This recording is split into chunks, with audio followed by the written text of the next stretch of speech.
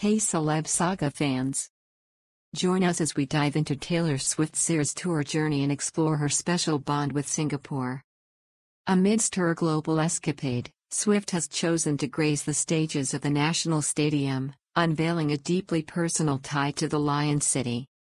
Let's unravel the layers of this connection, rooted in family history and cultural resonance, and witness Swift's heartfelt interaction with her Singaporean fans. Get ready for a musical odyssey through the enchanting streets of Singapore. If you enjoy this coming up video, show some love with a thumbs up. Don't forget to like, comment, share, and subscribe for more exclusive updates.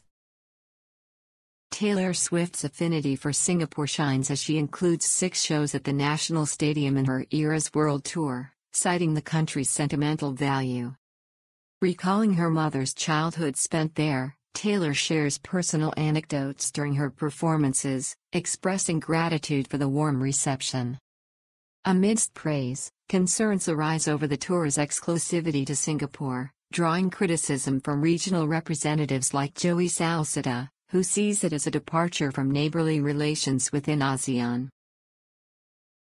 Despite accolades for her Singaporean concerts, Taylor Swift faces scrutiny over the tour's limited scope in the region, prompting diplomatic concerns.